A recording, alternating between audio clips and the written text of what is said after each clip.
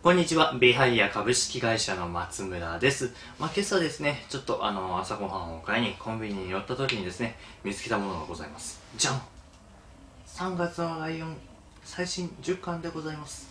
しかもですね、これあの、私、そうなんですよ。3月のライオンですね。えー、まあ、最近買い始めて、えー、もうとっくにですね、あの、最新刊まで追いついていたんですが、まあ、この度ですね、あの、新しく、えー、10巻が出ておりまして、しかもですね、これあの、ここちょっと見てもらいたいんですけど見えない。ちょっと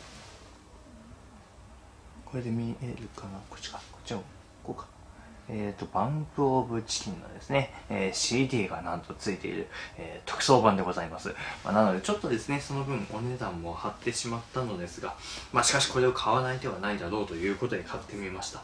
まだですねあの開けていないので非常にですね、読むのが楽しみでございます。まあ、あの、コンビニとかにもですね、置いてあると思いますので、気になる方はぜひ手に取ってみてください。どうぞよろしくお願いします。